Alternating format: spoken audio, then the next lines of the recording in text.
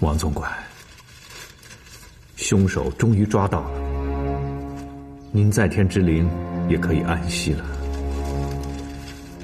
有一段时间，很多人都误会我，说我是为了总管的位置杀了你。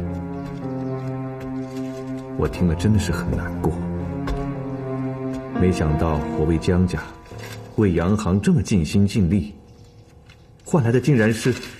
大家对我的不信任，这叫我怎么不寒心、不心痛？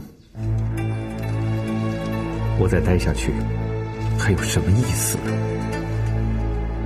王总管，我真心的谢谢你过去对我的教导，我也没辜负您对我的期望。即使在我被冤枉、被误会的时候。我还是尽心尽力为洋行做事。现在一切水落石出，洋行已经慢慢的恢复到以前正常的作业。我想，也该是我离开的时候了。我不准你离开，老夫人，建好。我知道你这件事情受委屈了，不过好在现在已经破案，还你清白，你就不需要再离开了嘛。再说你在洋行也做得很好，洋行也需要你。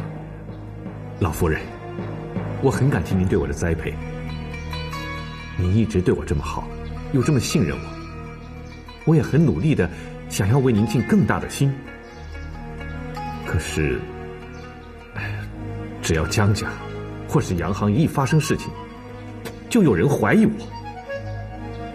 王总管的死，有人说是我干；洋行被偷，也说是我偷的。之前游戏室发生火灾，也有人说是我放的火。老夫人，您说，这么多谣言，这么多人不相信我，我再待下去还有什么意思呢？老夫人。谢谢您对我的照顾，您对我的恩情，我以后再报答您。哎，建豪，不要这么快做决定，好不好？老夫人，我并不是意气用事，这件事情我考虑了很久，真的很对不起你，我实在没有办法再待下去了。哎，志和，你来的正好，快拦住他！建豪说他不做了。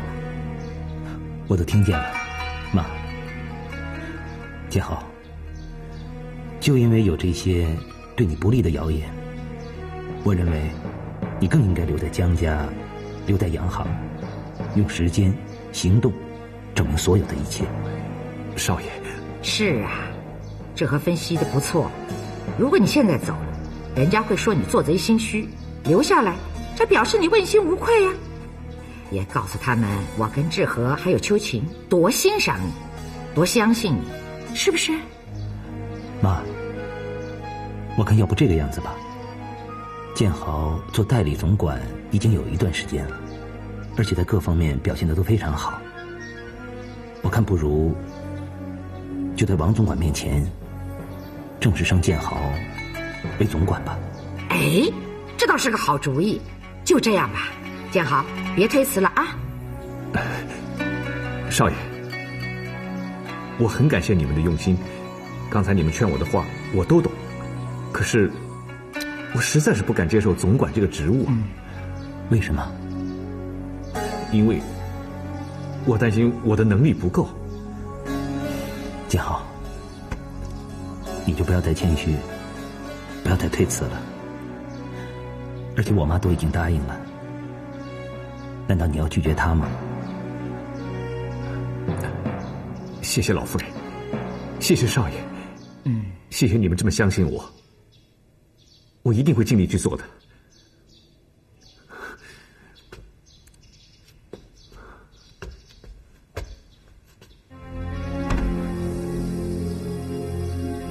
王总管，您知道吗？这段时间。有多少人冤枉我？但是，老夫人和少爷却始终相信我，甚至还升我当总管，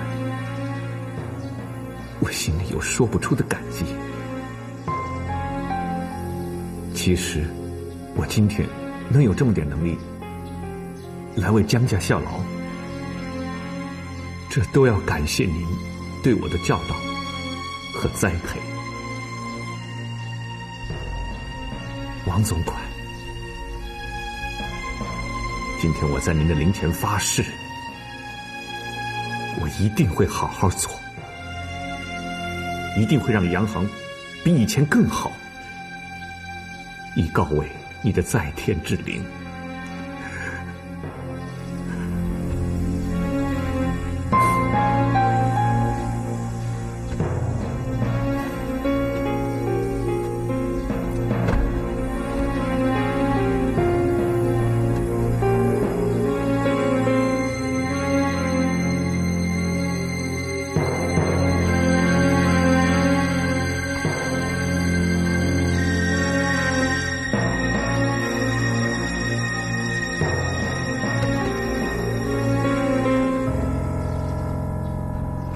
成啊，王总管的命案看起来是破了，可是并没有想象中那么简单哦。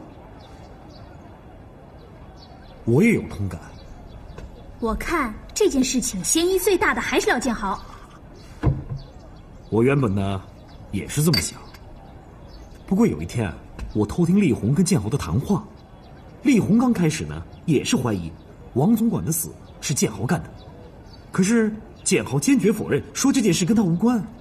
他怎么会承认呢？真是的。说的也是啊。如果说这件事情是建豪干的，哎，那么虎哥呢？巡捕房说虎哥才是真正的凶手哎。我看啊，还是建豪。你们可要小心哦。先是我被赶出来了，再接着王总管就被杀了，说不定啊，下一个就是你，可能连少夫人他们都要一个一个被除掉呢。建豪会那么做吗？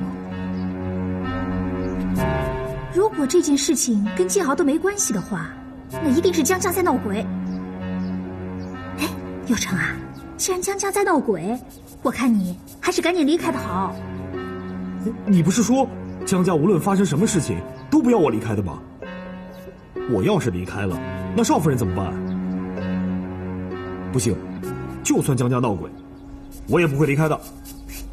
哎呀，我是跟你开玩笑的嘛。切。我怎么会让你离开江家呢？少夫人对我们这么好，连这个店都是她帮我们的。我们不但要帮江家，还要帮江家抓住那个鬼。没错，咱们呢一定要把这个坏心鬼给抓出来。嗯。哎，说到这个店，你可别忘了我那份投资啊！